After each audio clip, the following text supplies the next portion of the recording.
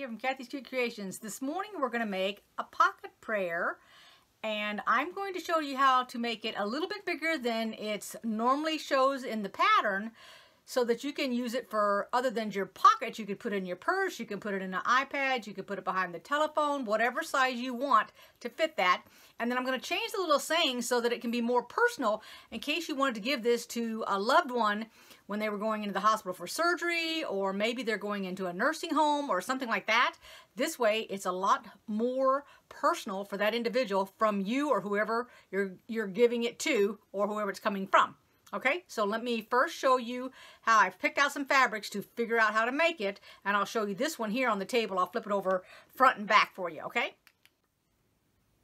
Alrighty, so you can get the pocket prayer uh, if you want to get the directions and have them downloaded or I mean sent to you or whatever. I believe the Shabby Fabric sells them. Uh, other people sell them. But let me give you an idea of the one I did. Or I did two of them. I did this one here which I made a 2 by 2 inch square. It actually has a little cross inside of it. You can't see it, but you can see that something's in there. Okay. And then this is the little prayer here. They give you, if you buy the kit, it gives you the little printout. And then the way to change that, because I wanted to have it different, and I gave one to my swap partner that was a heart-shaped, but I made this one today to do for a demonstration. So I have put an actual pocket on it right here. So you can put in whatever you want. And the reason I said that, let me show you the other side. So I went ahead and I put I love you and I quilted it with two different colors. Now you can make these any colors you want. You can make them solid. You can mix and match them. It doesn't make any difference. It's just your preference. And then the pocket I added like this, when they're talking about the pocket, they mean that the entire inside of it became the pocket. So this is not quilted. I'll show you here if I can grab my hand on it. This is totally open on the inside. So this can move around the little item in it. That's so that you don't lose it, okay? So it can go all the way around it. Put it here into the purple side. The only thing that's together is this little knot right here in the middle, just like you would be tying a blanket together. This one is not, it's totally open on the inside, like this, but I did not put anything in it, okay? Because you're not going to normally wash them or anything. I put a specific pocket on it so that you could put your paperwork in it, and so you can change it. So Megan did this one here for me. She printed it out, so this is how you can change it. So you can put, in, in this case, you can put this pocket prayer quilt was made especially for you to keep in your pocket. Well, if you want to change it, you could say keep in your iPad pocket, your purse, in your wallet, depending on the size that you make. You can keep it anywhere you want, it wherever it will fit for the size that you make. And then throughout the day, when your fingers feel the whatever item is in it, in this case, if I were to take, let's say that the person I'm giving it to has a cat at home. Let's say this is a child. Well, so that the child can remember their cat, I've got a little bitty thing here, and it's got a little kitty cat on it. So every time they feel like they need comfort, and I'll have this inside the pocket, and I'll pin it in there so that it doesn't get lost, then they can feel and remember their kitty cat. Because like it says throughout the day when your fingers feel the and you can put the kitty cat you can put whatever you put in it if you've got a lucky coin or um, some kind of like a lucky earring or maybe a lucky button or whatever okay you put it inside the quilt and then it will be mindful of and then this can be my love if you've made this for somebody else let's say aunt betty's love daddy's love mommy's love whatever and grace for you and then it says keep it as a tangible symbol of, and then you fill in the blank, the word peace, or you can take it off, or you can change it, or whatever. You're making this thing personal for you to give to somebody else. Also, you could use the little uh, cross that comes with it if you're, the reason I put this in is for all of those that are non-religious, you can still make this. You don't even have to call it a pocket prayer. You can call it um, your special pocket. It doesn't make any difference. Whatever the wording is, it is specific for you and put whatever you want in it. If you don't have a cat and you have a dog, I have a couple of here. This one's a this one's a little Dachshund dog. See him on there? This one here is a little Scotty dog. And then this one here says made for you. Show it to you without the light. There we go. And this one here says made just for you. So made just, and then when you turn it around for you, but it also looks like a little kitty cat. Go that way right there. See it? Now these things are just little embellishment charms. This is a pack. I picked it up at Joann's. It looked like that. And it had five embellishments in it. I do not recall how much they were. It doesn't say on here. But it's to embellish because you can use these for your purse or anything. I mean, you can even put them on a quilt if you want. But in that case, in this case, I was putting them in a little pocket. And then, like I said, that's what this one now. This is measured. Let me see. How big is this? This is a little bit, what is it? About, okay, so this one's four inches. That's how big that one is.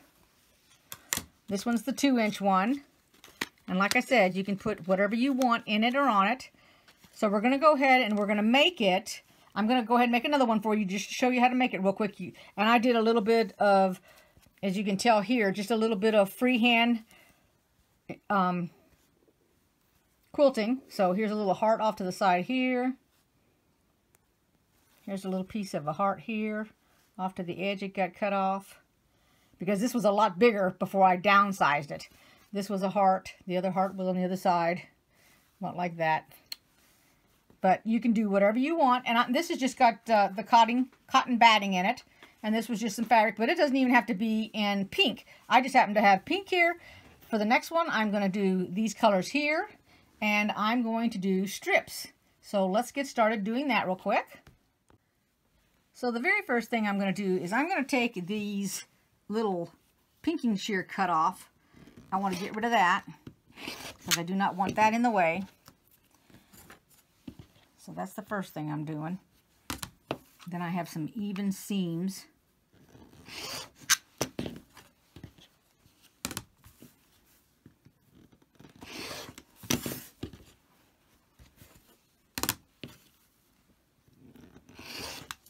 whatever size I cut these, I will build it back up. So I'll show you. So let's say that I want to do it like in stripes. So that one, then we'll go a little bit bigger here. Okay, and let's just go ahead and go uh, a little about, I know this is going to be very small, but that's okay because we, we it can change up. So then what you're going to do, or what I'm going to do, is I'm going to take this one and I'm going to sew it to that one and to this one. So that's the first thing I'm going to do to see how long it is and if I like it. So let's go over to the sewing machine. Actually, instead of doing that big, long, uh, wide yellow one, I'm going to go with this one here, the narrow, the more narrow, and put it between that. I'm going to do that. So let's sew this to this and this to this. I'll just sew it and be back because y'all know how to sew already. Alrighty, so I sewed these three together. So now I say to myself, okay, this is the full size of the back piece, so does it fit? No, it's too small, so I have to add another piece. So I kind of like this blue color, so let's go with blue. And we'll sew this on there, and then that'll fit. Now, I don't have any of these ends cut off on this. And then I'm going to, after I get done sewing that on, I'll be right back, and I'll show you what I'm going to do. Alrighty, so I sewed these three together. So now I say to myself, okay, this is the full size of the back piece, so does it fit? No, it's too small, so I have to add another piece. So I kind of like this blue color, so let's go with blue. And we'll sew this on there, and then that'll fit. Now, I don't have any of these ends cut off on this. And then I'm going to, after I get done sewing that on, I'll be right back, and I'll show you what I'm going to do. Okay, so I'm back. Now the question is, does it fit? Yes, it fits, but which side am I going to quilt on? Because I'm going to quilt on this side, it's going to become smaller. So I better add another piece. So let's go and add another piece. And I kind of like the red one because the yellow's against that. So let's go ahead and add this red one. Now, at this point, I have pressed them all open. You don't have to press them open. This is what I want to do because what I'm going to do is I'm going to go ahead and I'm going to do when I get ready to quilt and I'm going to show you what I'm doing based on the fact that I've opened them up. Okay, so I have it that way now. So my next question to myself is, do I want to keep it stripes or do I want to cut it off and then put a plain piece on the side? And if you do that, you could actually put their name, whatever the person's name is that you're giving it to, because you can either monogram it, you can embroider it on there, you can do freehand embroidering on there. But like I said, you can take a piece off like from here, this corner. Let's, do I have it long enough? Let's go with this ruler here. Let's pretend I want to cut it off. I would cut it off from that corner to that corner and just take that whole entire section off, which would leave me, let me give you an idea what it leaves you. If you were to do it, it would leave it looking like that. Then you'd want to come along and put other fabric on it, or maybe you want to go and do stripes this direction on your fabric like that. It's going to be up to you what you guys want to do. Alrighty, so I'm going to leave it like this. And actually what I could do is I could, let's see, how long would that be? See, that won't be long enough because, well, yeah, I don't want to do that. But I could do stripes that direction, but I don't want to do that. I'm going to go ahead and leave them all just like this. And now I'm going to go get me a piece of batting and let's, and this is where you're going to want to use your scrap batting. So let me get some out here. Okay, so I have two pieces here. And I'm wondering if I make it fold that in half. See, even that will work, and that can be double batting on that. Or I can do single. I don't think I have enough on this. Nope, I think that's too, that's too small. Yeah, we can't go with this piece. I could go with this piece and just do one and don't do the two. And what I'm going to do is I'm just going to come straight down the line here on each side where my seam is on every one of those to do my quilting. So let's do that over there at the sewing machine. I'm going to, I'm trying to think, should I be putting my walking foot on or I could just use my regular, I might want to go ahead and put my walking foot on. Let's go over there to the sewing machine. Now most sewing machines come with walking feet. You want to make sure you don't put your screw too tight against that plastic because you could break your plastic or crack it. Even the older sewing machines came with walking foots. All right, and I'm just going to start on this side here, and I know that my seam is a quarter inch. So I'm going to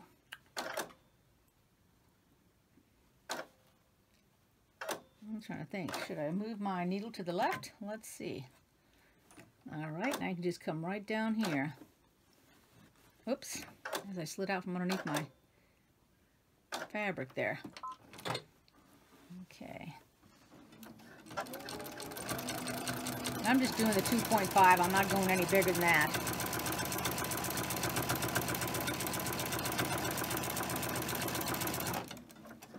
Okay, and then I'm taking this off. And let's see here. And as I made the comment in another video, my uh, this machine, the foot does not go to the right. It only goes to the left. So what I'm doing is, on this one here, since I don't have any kind of uh, left or right, I'm putting the foot down so the foot is off to the left of the fabric, but I can see inside here on my foot right up against that fabric. Now let me put my foot down. Here we go. Now let's see if I can keep it straight as I can. I already know my first line was wiggly.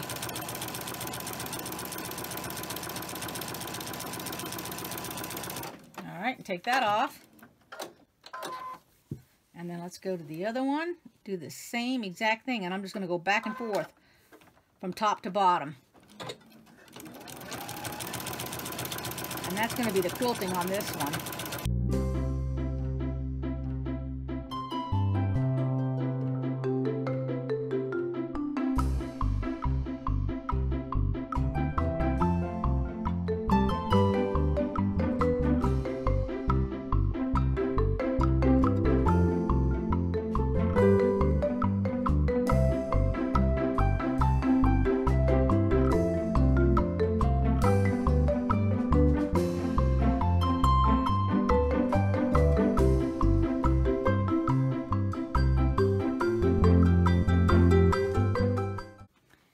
Take a look at it and cut it.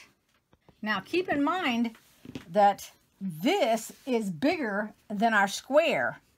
Okay, it's a little bit longer this direction, which is fine because we'll cut it down. So now all we're going to do is just go ahead and cut it just to get it, to get the batting off of it. And then we'll put our other piece on it. So now the batting is off. And then we said we were going to use the, I think this was the color for the back. I can't remember. We'll use this one for the back. And we'll use this one for the pocket. So what we're going to want to do, since they're the same size, is we're going to go to the ironing board and we're going to press this down a quarter of an inch and fold it over and press it another quarter of an inch. And then I'm going to tack the corners just right here to hold that down into place. So let me do that first when I come back. And then I'll come back. Okay, so I want to put something up here at the pocket. So I've got this little piece of fabric here that I cut out like that. I put some stabilizer on the back of it to make it a little bit stiff. And I'm going to go ahead. Now this is where I reinforced my corner just to hold it down over here. And I'm going to put that right up at the top of that pocket. That doesn't need to be fancy or anything, okay? And I'm going to have that set on there. Let me lift it up here so you can see it.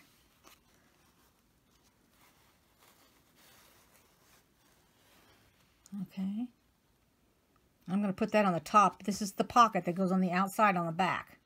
Okay, so I want to put something up here at the pocket. So I've got this little piece of fabric here that I cut out like that. I put some stabilizer on the back of it to make it a little bit stiff. And I'm going to go ahead. Now this is where I reinforced my corner just to hold it down over here. And I'm going to put that right up at the top of that pocket. That doesn't need to be fancy or anything, okay? And I'm going to have that set on there. Let me lift it up here so you can see it.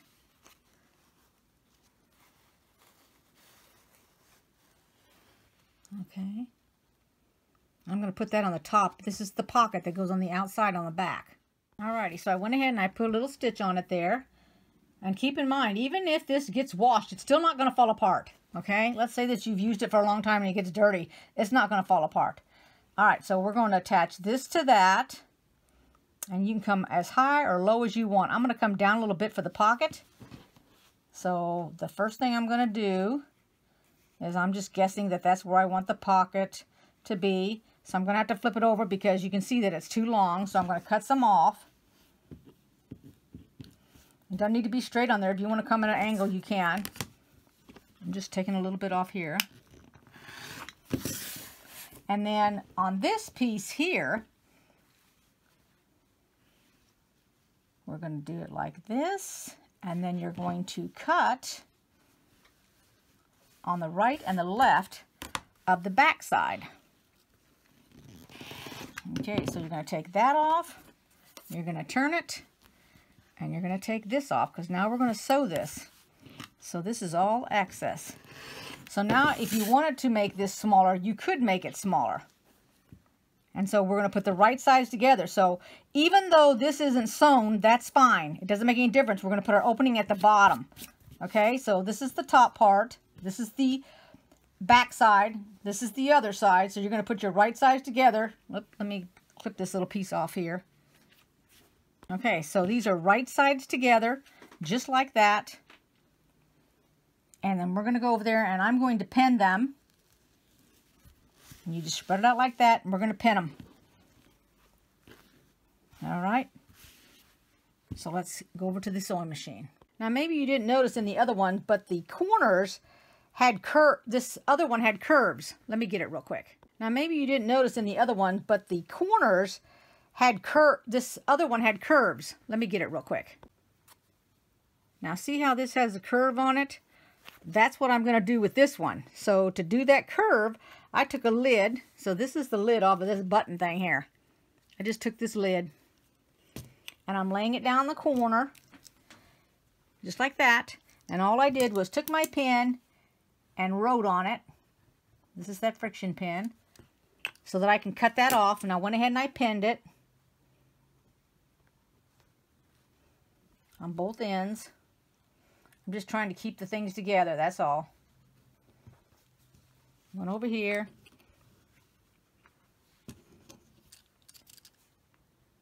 And I guess you could just take this pink fabric if you wanted to and just go all the way around it.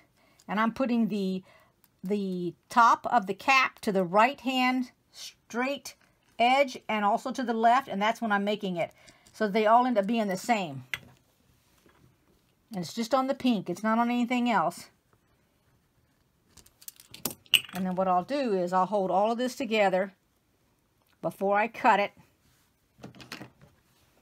like that so that they all stay together and the whole entire thing gets cut. Then I'll put a pin right there in the middle of that. And then I'm going to put a pin here because this is where my pocket is, the corner of it right there. I'm going to go down here. And it's okay that that's longer because what I'm going to have to, I think I have to, let me cut that off first. I might have to redraw my circle. Let me go ahead and do this other side first though. So at least I have all of these the same.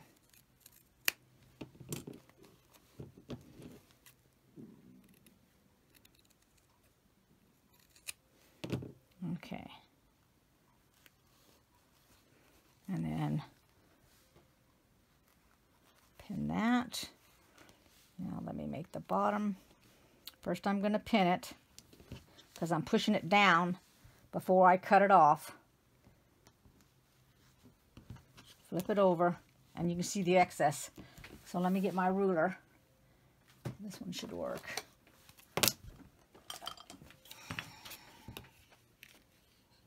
Because I've got to make sure that I have enough batting. I don't want to be off the batting there. Okay, so now take this and let's redraw our cap because the size is a little different.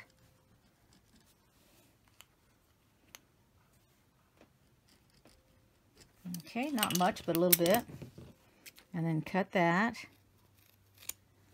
Put a pin in it. Cut this size over here. And put a pin in it. Now, this is the bottom right here. This is the sides. See the little part right there where the pocket got folded over, okay? So this is the part that I'm going to leave open to turn. So when I go to sew it, I'm going to start right here, and go all the way around it, and then meet it back to here and stop. So let's do that first. Now for this project, I just used white thread, but you can use matching thread.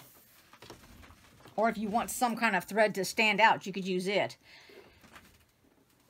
Now, depending on the size, if I want to go a little smaller with my pocket, I mean my, um, this little thing right here, if I want to go a little bit smaller, then what I would do is take and put the side of my fabric up along the foot, which is what I'm going to do, so it's not going to be a quarter inch, it's going to be a little bit more than a quarter inch. I'm going to go ahead and lock it into place here because when I go to flip this, I'm going to put a little strain on it. So I don't want these stitches to come out on me. And then you're going to be real careful when you go around this corner. Just slowly take it and turn it. I'm going to take my pin out before I reach it. And then um, this little pin cushion that I have, I put some felt at the bottom of it. Let me see if you can see that. I put felt at the bottom of this pin cushion so that that wouldn't be so rough. That's a piece of wood on my sewing machine. And you guys can do that too when you get things that need a little bit of something on it. All right, let me make sure I've got that over far enough. I don't know if I do. I might have to come back over. Uh-oh. Did I just boo-boo? Let's see, where's my... Nope, I did not. Okay. Somehow I got myself turned around on there. Let's turn that corner. And when you turn it, what I'm doing is I'm actually pulling a little bit when it turns that corner on the fabric. It helps it go around the corner a lot better than it just going by itself. So I'm pulling a little bit as I go. It just takes a little bit of practice. It'll make the stitches a little bit smaller when it gets around that corner. Because as you hold on to it, it makes the stitches smaller. As you let it go, it makes the stitches bigger.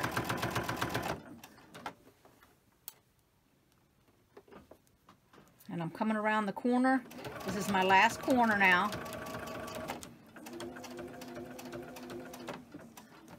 And I'm going to stop when I get about right here. So let me just get, I want to stop on a straightaway. I do not want to stop when I'm on the corner. It's too hard. So come straight, lock it into place. That should be enough to be able to turn it. If you want to use pinking shears at this point, you can. If you feel like you need to, I don't really want to. I'm just going to cut my tails off of my stitching threads. And that's it. And then I'm going to show you, this is the tool that I'm going to use right here. When it comes time to pulling that out, let's turn it over here on the table. What you have, this is the part that's been quilted on this side. There's the other side. When you pull it through there, I just take my hand, go in here, and I'm going to take this end, which is the far end, and kind of push it. Then I'll grab it with this hand as I pull and get the rest of it out of there.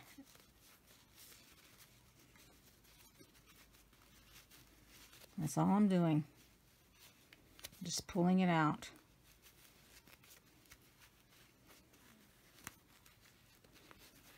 And then this tool is pretty handy because you can go up to the corner, which is over here, because it's rounded, remember? So you're just poking it a little bit on both ends. Here's the other end. Same thing. Come down the corner. And you can actually put your finger in there and the other corner. There we go. You can also use this rounded edge here. That helps too. Okay, so it looks like that. And we're going to tuck this in just like this. And I'm going to actually go over there and iron it. Okay, because we're going to put stitching all the way around it. Here's what it looks like. Here's the pocket. I'm going to iron this down because it helps when it comes to stitching. So let me do that real quick. Alrighty, I put two little clips on here. So I'm going to go ahead and we're going to sew this down. I'm going to start up here at the corner. And we're just doing a top stitch. Now I'm just going to do a quarter inch top stitch. I really don't even need these clips because this is pretty well ironed down. And I'm not going to lock it into place. When I come back around, that's what will catch it.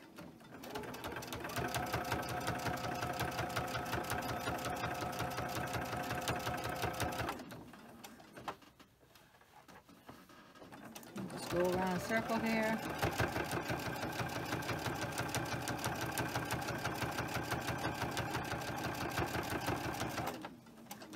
Go around the circle.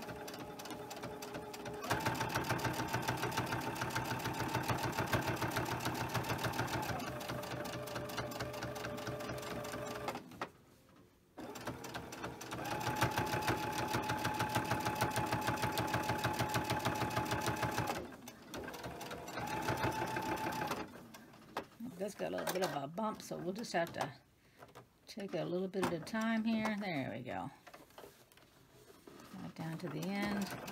And then I'm going to, let me see if I can move that piece there, because I'm going to go ahead and decrease my threads as I come across that. And then just backstitch. There we go. And we'll take a look at it. Alrighty, here's what it looks like on the front with the pocket and the back. And it's pretty neat looking. And it's one of a kind because it came from you. And now is where you put your little note in there. And um, let me see if I got a, I think I got a, one of those little pocket prayers. Let me find it. Now, if you order these through the Shabby Fabrics, I know that you will get a packet like this. which will have a whole bunch of the little prayers in it. And then it has a lot of crosses and a lot of the little pins. But in our case, I want to go with this little dog right here. Whoops. That little dog right there. He's got the scissors. And I'm going to use a pin from this package. Of course, you don't have to use a pin. You could actually sew that. If you wanted to, you could actually sew it on the outside of that. Because I believe the pins are to hold the little prayer so that you don't lose it out of the pocket. I believe that you just, let's go this way with it. Because normally your little trinket is what I'm going to call it, is sewn on the inside of this. But in my case, it is not. And it's going to actually go in the pocket. Just like that. But in this case, if you wanted to, you could actually sew it with a piece of thread and you could sew it so that it can get tucked down inside there. Just put your thread, let me get a piece of thread real quick, I'll show you what I'm talking about. All right, now for the purposes of this video, and a lot of times they'll take this prayer here and they'll put it on the back so that you can see it. So you've got your choice in or out of the pocket.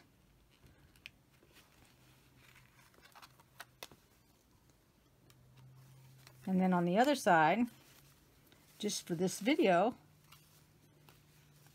I put it, attached it to the inside so that you won't lose it. This way, nobody's going to lose their little thing here. Okay, and it just goes inside. That's it. So I hope you guys liked this video. Give it a thumbs up if you did, and I'll see you next time. Bye-bye, everybody. Thanks for watching.